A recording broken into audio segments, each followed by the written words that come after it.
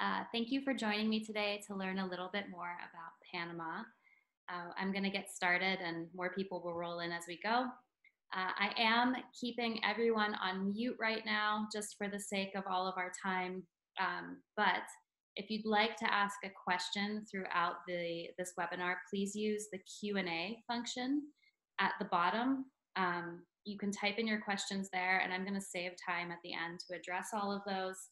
Uh, and then if people want to stay on and have a discussion, I'm happy to uh, unmute everyone and then we can just talk back and forth about what we're experiencing and what we're discussing right now. Um, by way of introduction, my name is Kirsten Gardner.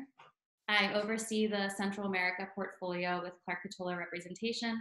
I'm based in Portland, Oregon, and I'm currently coming to you from my guest bedroom because we're using this time to rip our house apart and work on a lot of home projects. Um, I have a background in history and anthropology, and my interest in Latin America really stemmed in my undergraduate studies when I uh, got a certificate of Latin or Amer literature of the Americas.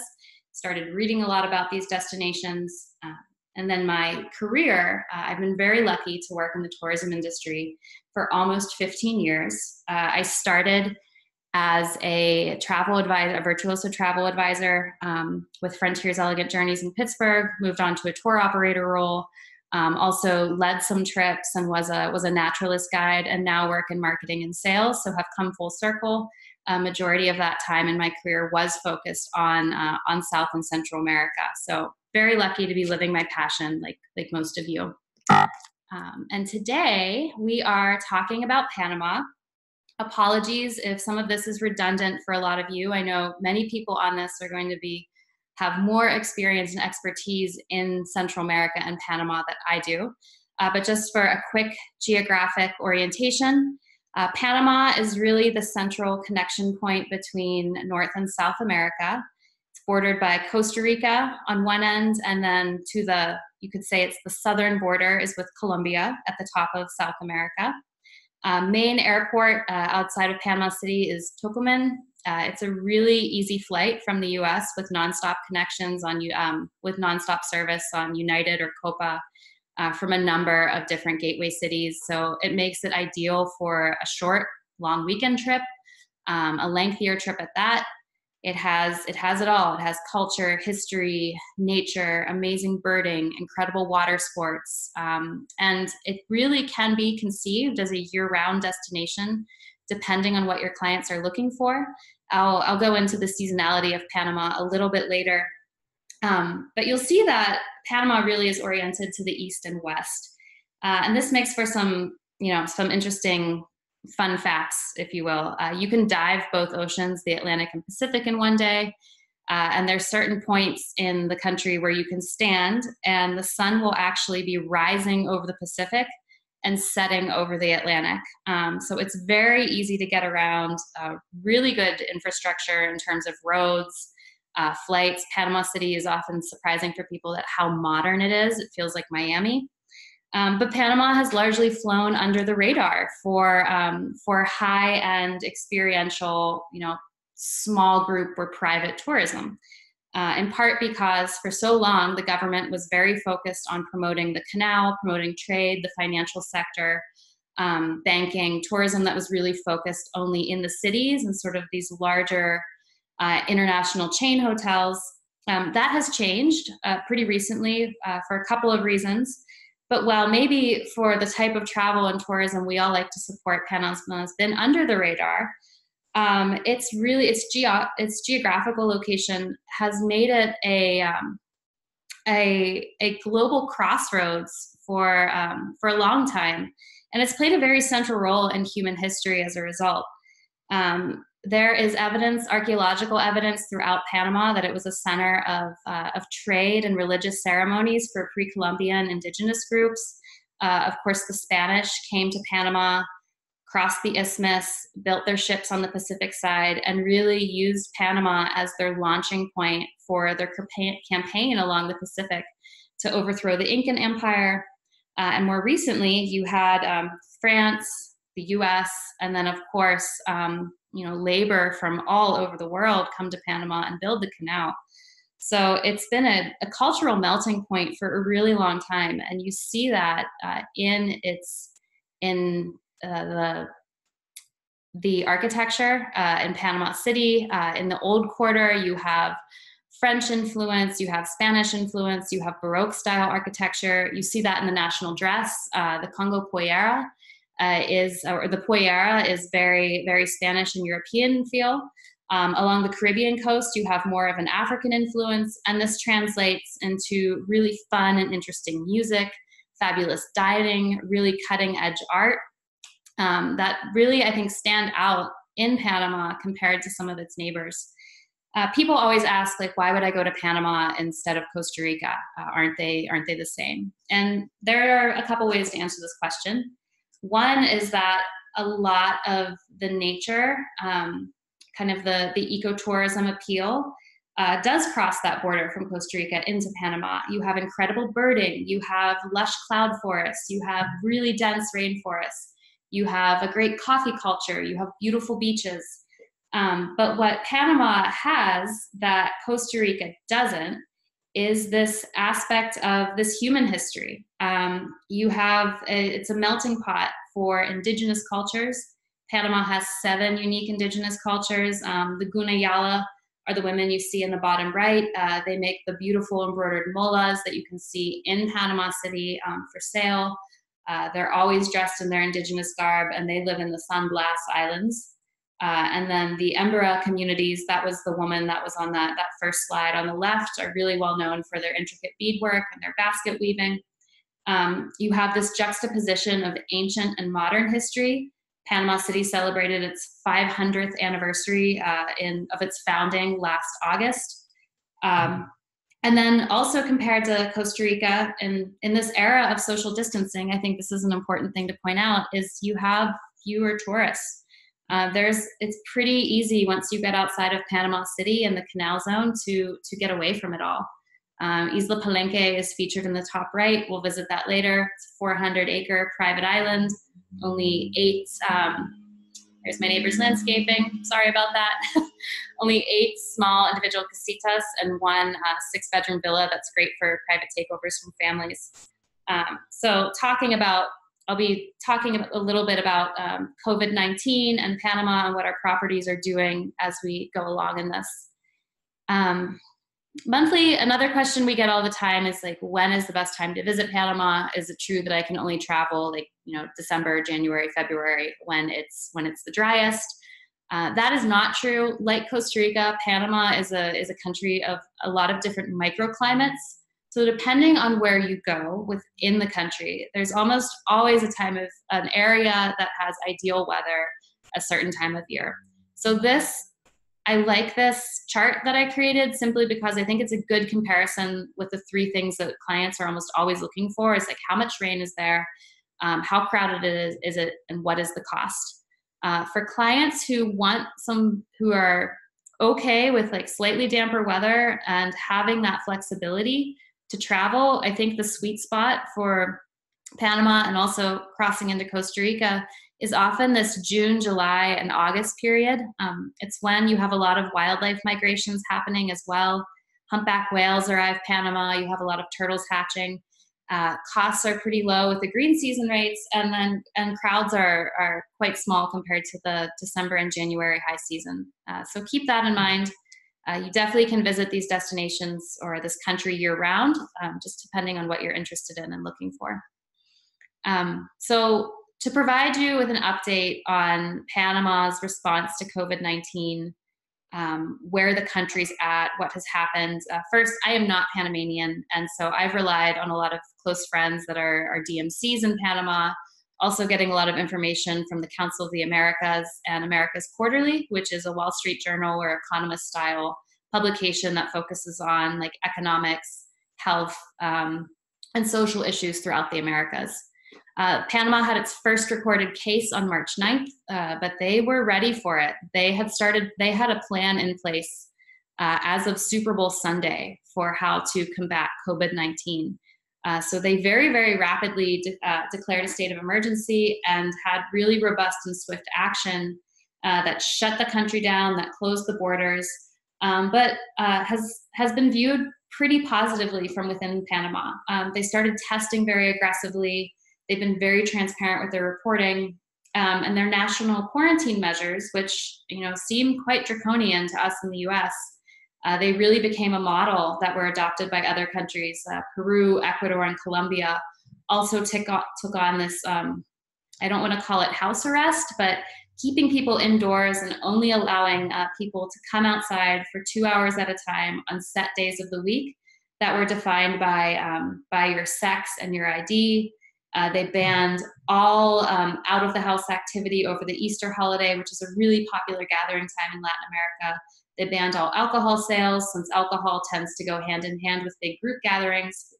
Um, I checked in yesterday with Diosa, uh, who is the director of sales for El Otro Lado, and also Jonathan Zelper from Truly Panama. My understanding is that these measures, this sort of lockdown measures, extended throughout May, it may start to lift in June, um, but I don't want to speculate and play, I don't know, astrologer onto what could happen when the country will open up again. We really don't know. Uh, it depends on quarantine measures that the government wants to take for people coming into the country, and also a lot on airlift, um, but we don't have those answers right now. Um, but I think there's a lot of positivity in how uh, Panama has responded to this crisis. Uh, for a country of 4 million people, uh, they've done a really great job of, uh, I think, just putting together a plan and then acting on it. Um, they've become a leader in, in the Caribbean and Latin America for how to combat COVID. And the United Nations and World Health Organization has designated Panama City specifically as this humanitarian hub um, and using their logistical expertise in moving goods. So they've become the center of distribution for PPE, um, for aid for a lot of the Caribbean and the Americas. Certainly, like any country, um, Panama has its challenges and issues. Um, the president, Laurentino Cortizo, has not backed down from this. Uh, some of the criticism has been Panama has been very quick to react and respond to this challenge. Why can't they address some of the like the really huge income uh, disparity and this inequality in the country's socio um, and, economic issues. And he has said this is an opportunity to rethink what we're doing, um, how we can kind of equalize wealth distribution a little bit better, get resources to remote communities that need them. Uh, so I'm optimistic that Panama is going to emerge stronger from this. Uh, it might just take a little bit of time for tourism to get up and running again. So, quick orientation of the country. Uh, as I said, it's this meeting point between the north and south. Costa Rica and Colombia on one side. You have the Caribbean or the Atlantic side on one part of the country, Pacific Ocean providing the other border. Uh, Panama City is kind of right in the center. The canal runs across the country, and you can get from one side to the other in about 90 minutes to two hours by car, depending on traffic. Uh, other populators, uh, popular ways to connect uh, the Panama City with the Caribbean would be maybe a private helicopter charter is going to become even more appealing, uh, a partial transit of the canal. There's also a really fun uh, railway, the Panama Canal Railway. It's a very inexpensive way to get from one end to the other. They have glass observation cars. You're down on the water running along the ships. Uh, remains to be seen when that will be up and running, but that's also a fun option for guests and families if they're going to go over to the Caribbean side and check out the property we work with, which is El Otro I'm going to show you a quick video that kind of encapsulates the magic of, of Portobello and this, and this area that El Otro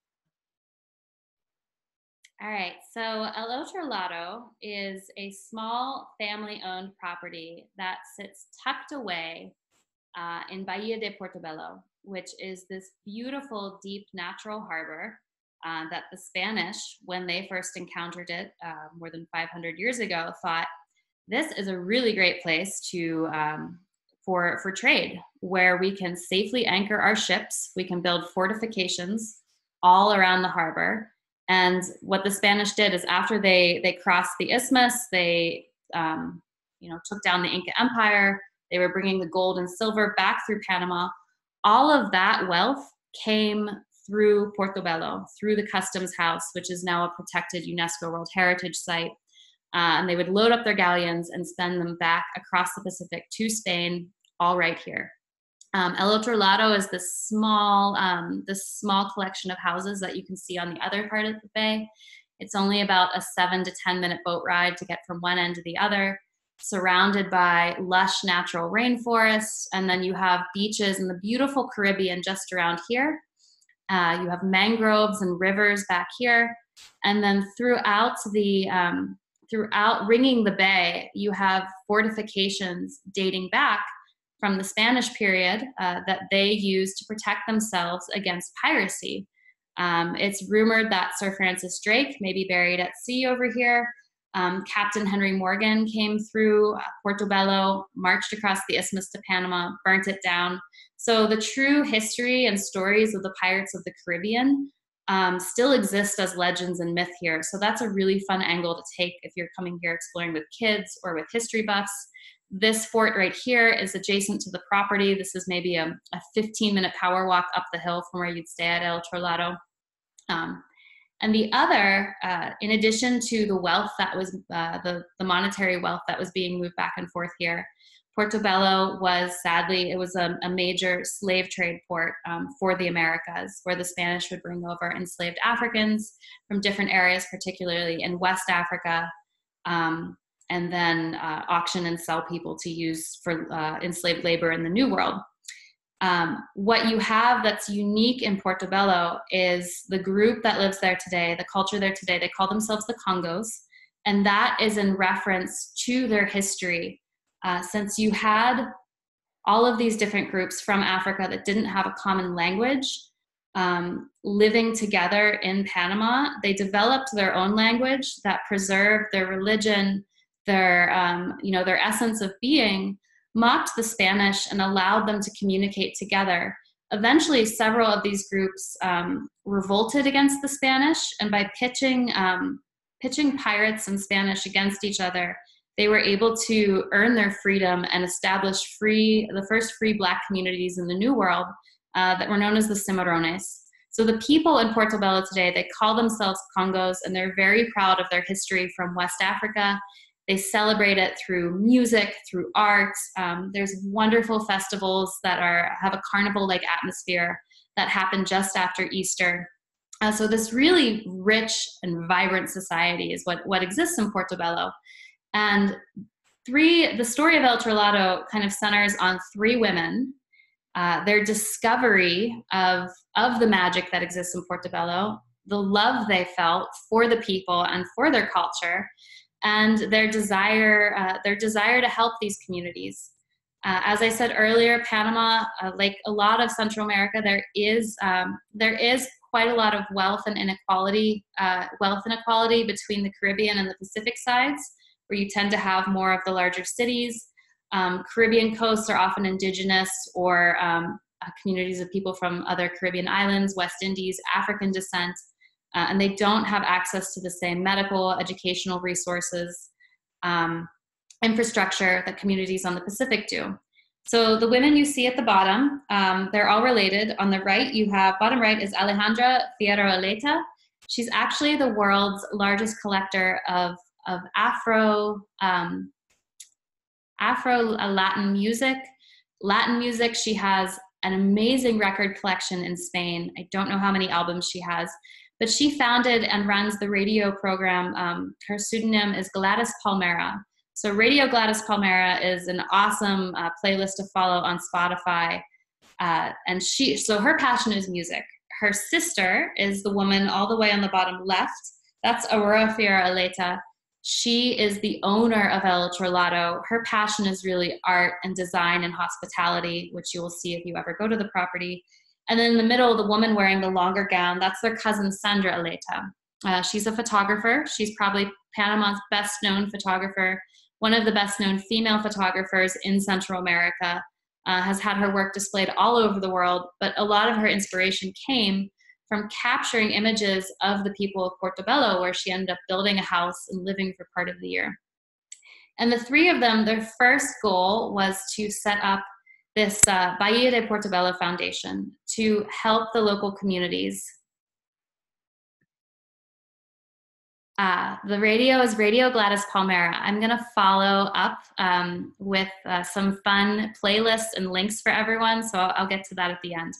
But Bahia de Portobello Foundation um, was set up with the goal of helping, enabling the people of Portobello to showcase their talents with the world their beautiful artistry, this seemingly innate ability to pick up an instrument and play like you're a virtuoso, um, their cultural heritage through dance and art.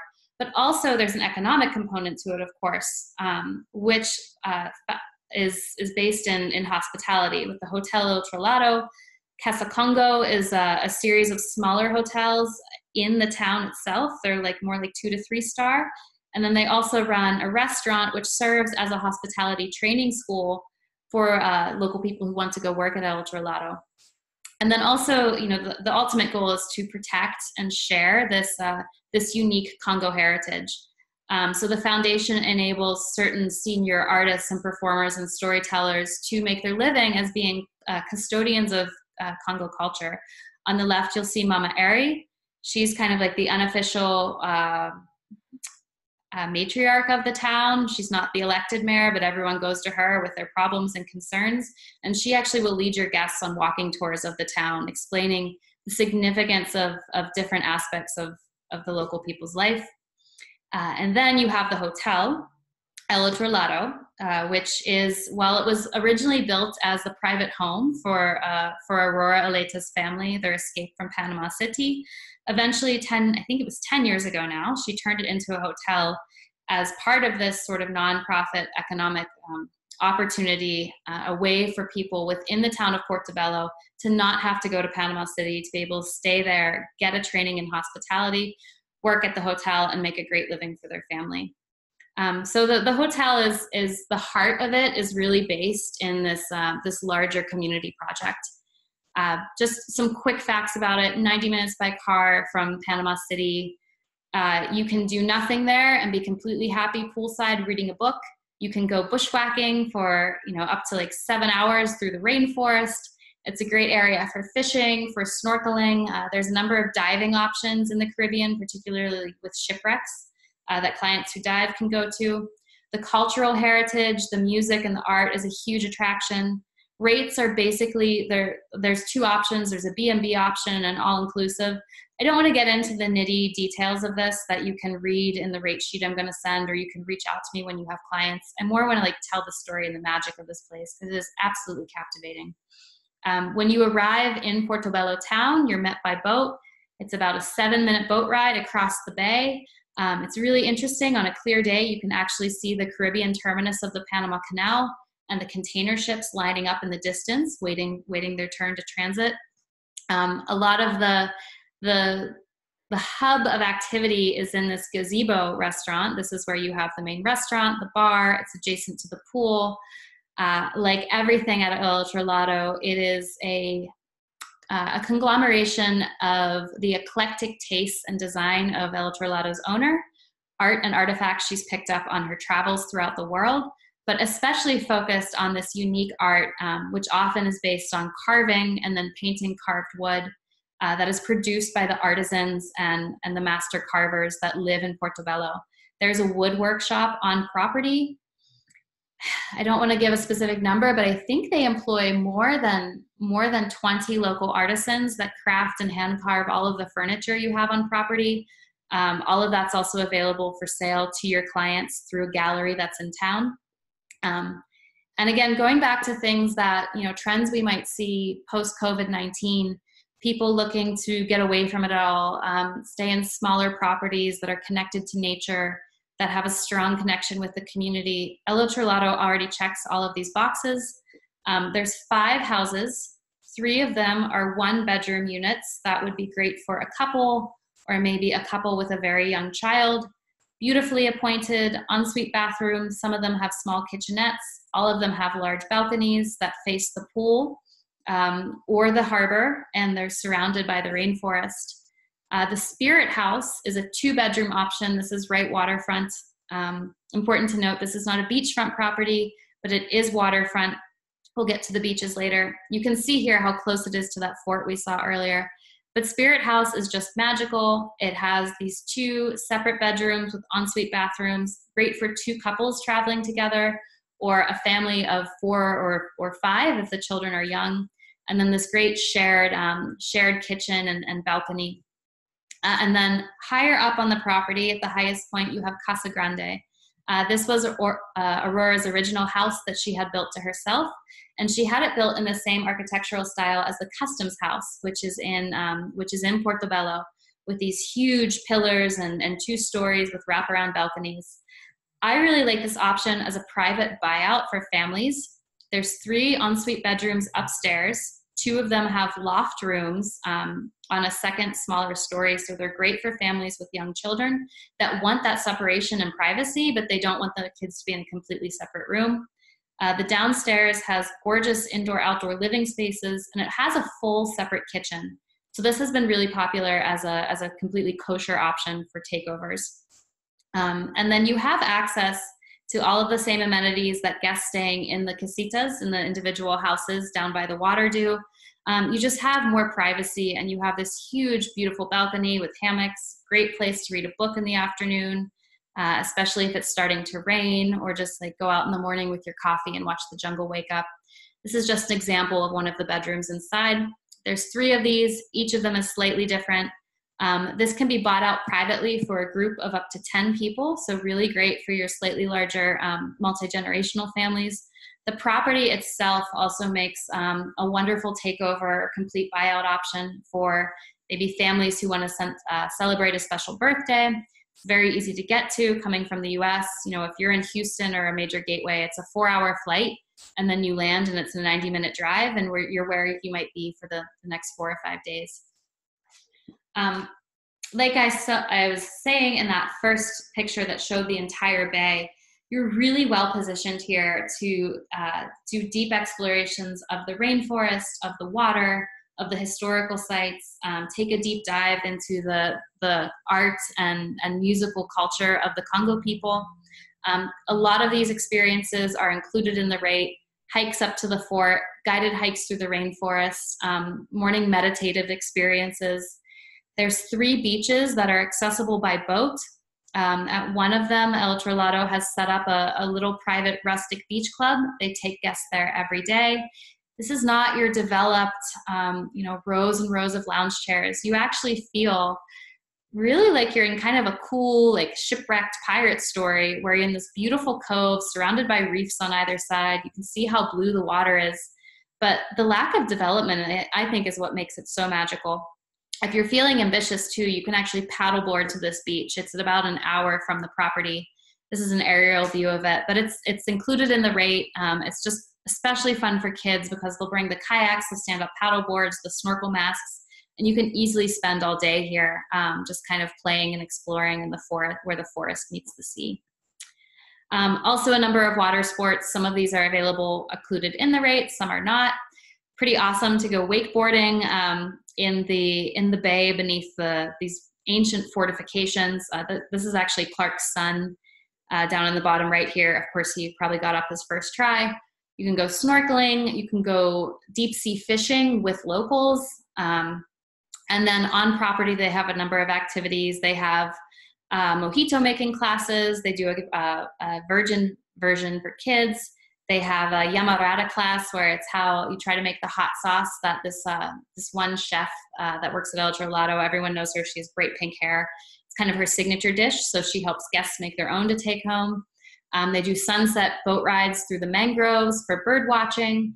And then there's all of the activities that are part of the um, Bahia Portobello Foundation. And this, I think, is really the sweet spot um, for anyone going to El Otro Lado. Uh, the cultural experiences, the Congo dance performances are very popular, and these are regularly scheduled throughout the week. Um, so that if your guests are staying for two to three nights, they will definitely experience this at least once.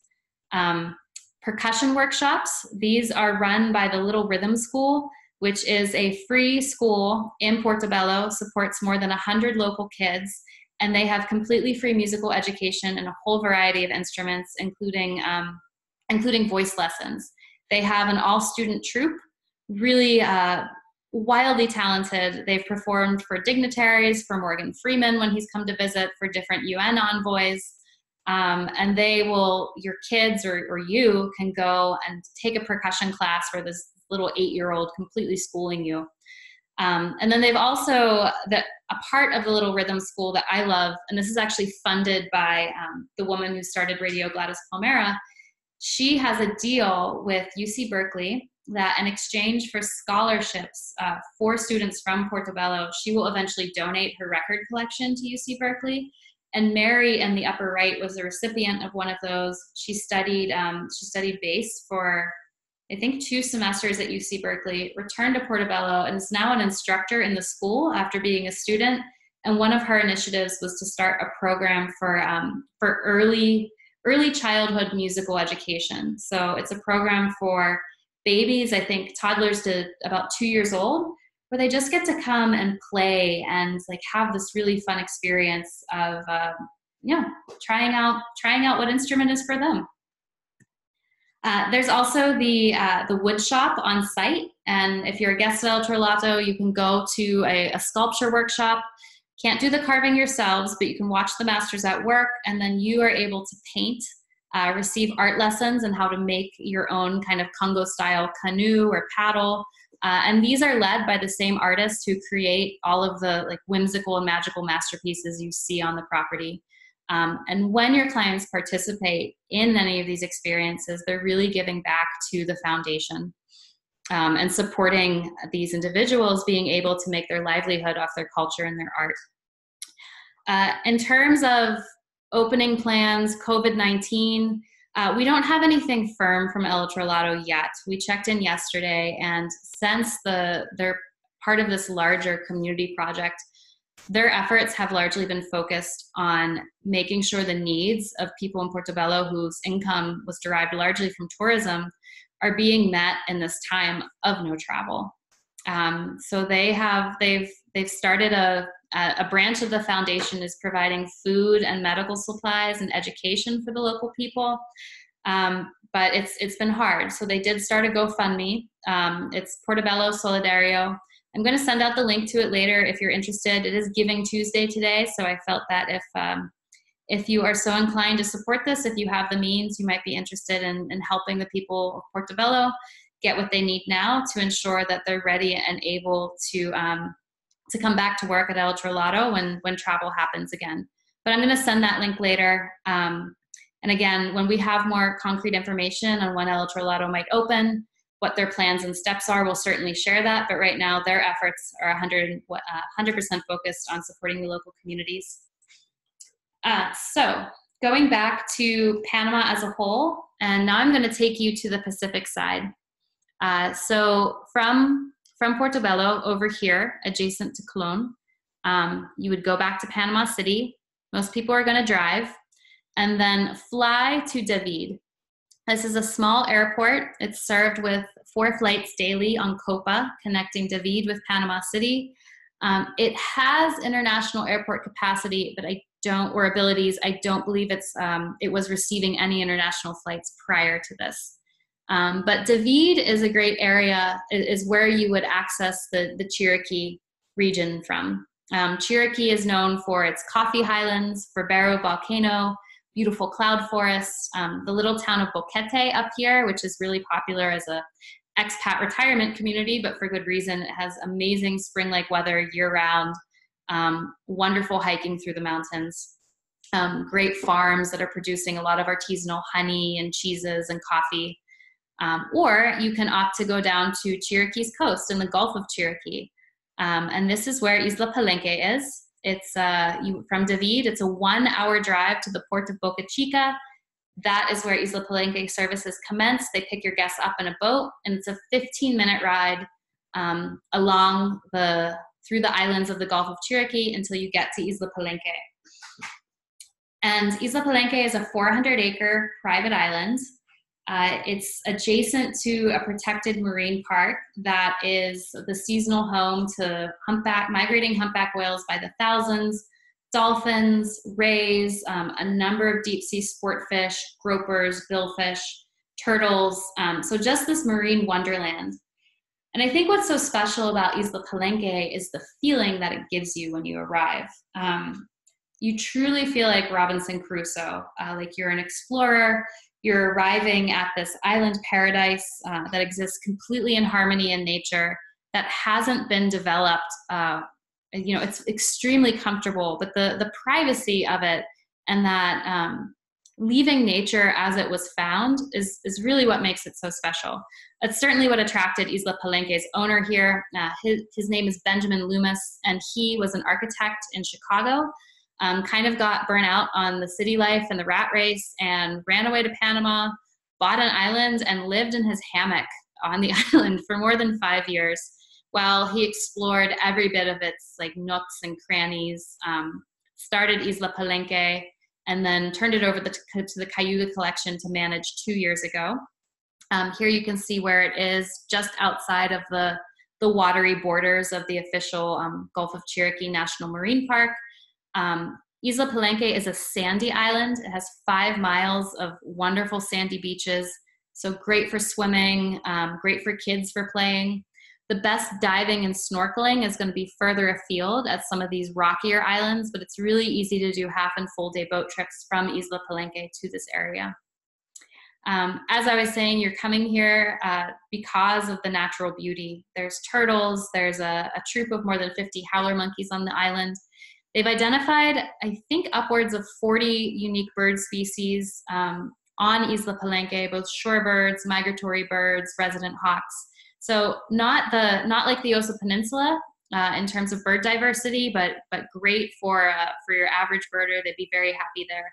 Of course, you have the humpback whales, which are there seasonally. Um, they usually arrive in late July and they hang around till early November. They're giving birth to their young, so it's fantastic. And you know, in September and October, you can almost definitely see mothers and their calves, um, you know, playing together offshore right when you're having your cocktail at the bar in the evening as the sun is going down.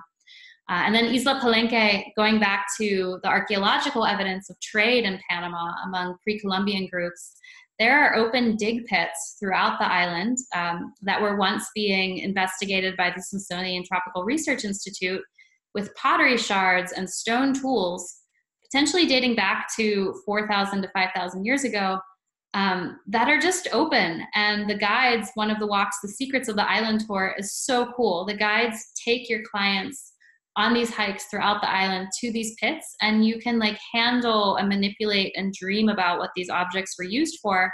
That usually you'd only find them in a museum. Um, there's also guided paddleboarding excursions, kayaking, natural hikes, birding hikes throughout the island. Similar to El Otro Lado, it's an all-inclusive experience, um, starting with that round trip boat transfer to Boca Chica um, to Isla Palenque. Your meals are included on island, uh, a selection of on-island and near-island tours, um, complimentary yoga, use of the SUPs and paddle boards. Whale season is, is I'd say July through October.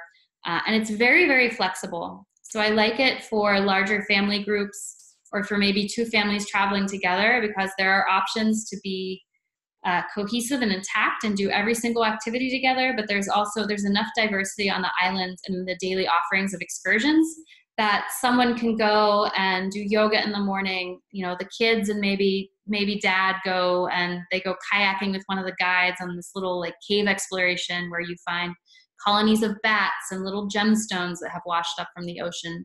Maybe someone else wants to go birding. Maybe somebody just wants to drink uh, you know champagne in a hammock and not do anything and that's all possible in Isla Palenque. Uh, overview of the island, the casitas, which were newly built at end of 2000 in 2018. These uh, these are on Playa Palenque, which is more than one mile of sandy shoreline. It's this beautiful crescent strip of sand, faces west, so you get great sunsets. Uh, over here on Playa Primera, This is where we have the uh, the six bedroom villa can uh, accommodate a family of up to 14. They don't rent those rooms out individually. It's only for a private takeover, and they've had it rented by groups as small as two. So that's a really good option if you want the ultimate privacy, your own beach, your own house, uh, your own dedicated um, kind of dedicated host that's on site with you, but access to all of the island amenities. Um, over here is where you arrive if you're coming by boat from Boca Chica. And then you can see the trails throughout the island, the beaches you can kayak and stand up paddleboard to.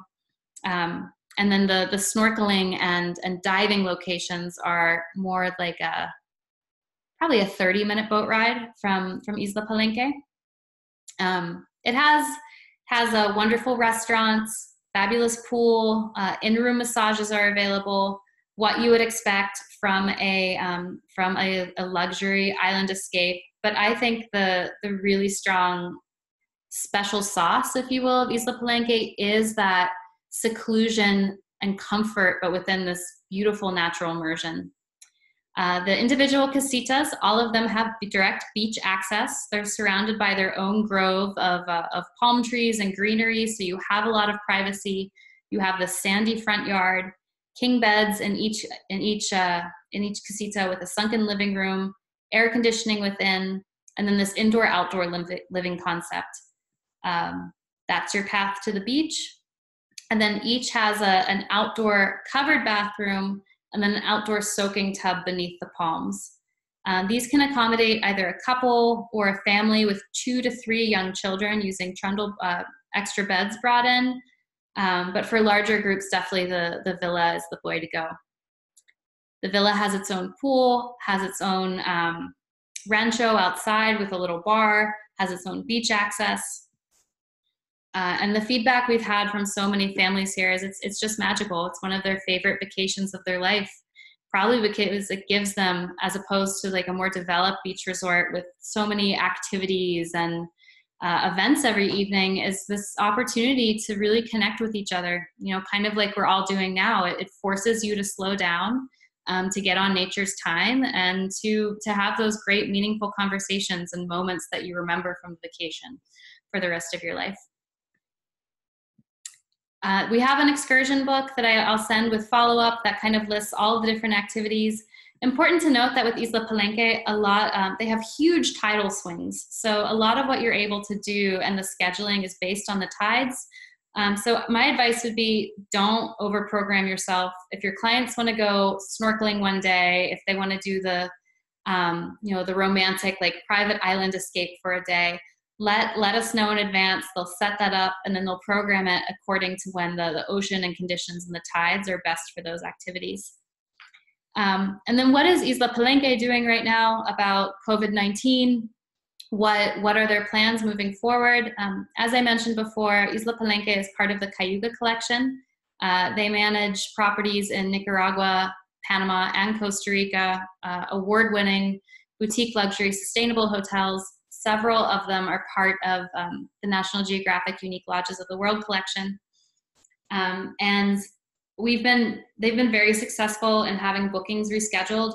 Uh, over 85% of their, their clients have opted to reschedule and postpone their trips for the future. And uh, uniquely, if it was a direct advisor who had worked with Isla Palenque to reschedule a future booking, um, they're paying that commission now. Um, that's on, uh, you know, their hours of staff have been reduced, so I know they're still working through commissions to pay. But if you were an advisor who booked clients at any of the Cayuga hotels and they were able to postpone, if you book directly, they're um, they're taking care of your commission now. They understand how important that is. Uh, they also adopted this zero risk, zero hassle booking policy. That's in effect now through December 21st, 2020, which is when um, festive season kicks off. And essentially, there's there's no deposit required. Uh, there's no cancellation penalties. They just want to do all they can to assure people that like their investment in travel, um, if something happens and they're not able to travel because of COVID, they're not going to to lose out on that investment. Um, they've extended this season's rates to next season. So 2020, 2021 rates are now extended through the end of high season, um, 2021, 2022. They've adjusted all of their payment and cancellation policies. They've essentially cut them in half Um, so now you don't have to prepay until, and this is for, this applies to next year. This is not to this this current season, um, but they've adjusted it down to a 15 day prior for green season, 30 day prior prepayment for high season, and then 60 days for festive peak dates. Um, they're rolling out a, a whole manifesto on guest health and safety. I was talking to Cayuga's co-owner and founder Hans Pfister this morning, and he's, you know, they're they're really following what a lot of these larger international chains like Hilton and Marriott are doing for guest safety. They want to take those same kind of measures but make them very appropriate for a tropical setting. Um, it's not, nobody wants to arrive at this like almost deserted tropical island and have check in be done through a plexiglass shield. Um, but so that's going to be coming out really soon. They're very on top of getting these policies in order. And then I have absolutely loved working with Hans and the Cayuga collection throughout this whole process. Um, they've been incredibly transparent in in their policies, in in what they're doing now, how hard this has been for staff, why they're optimistic about the future. And they've been sharing their best practices in a lot of blogs and through talks Hans has been giving with other DMCs and hotel partners to try to get them all on the same page. Um, and looking for ways to come out of this stronger, you know, thinking about their values, thinking about their commitment to the environments and local communities. So I'm going to be following up with um, links to some of his blogs that have been widely shared and I think appreciated within the tourism industry. Uh, that's it for today that I have on Panama. Um, and I'm gonna let's see what questions we have. I think there were some some good Q and A dis-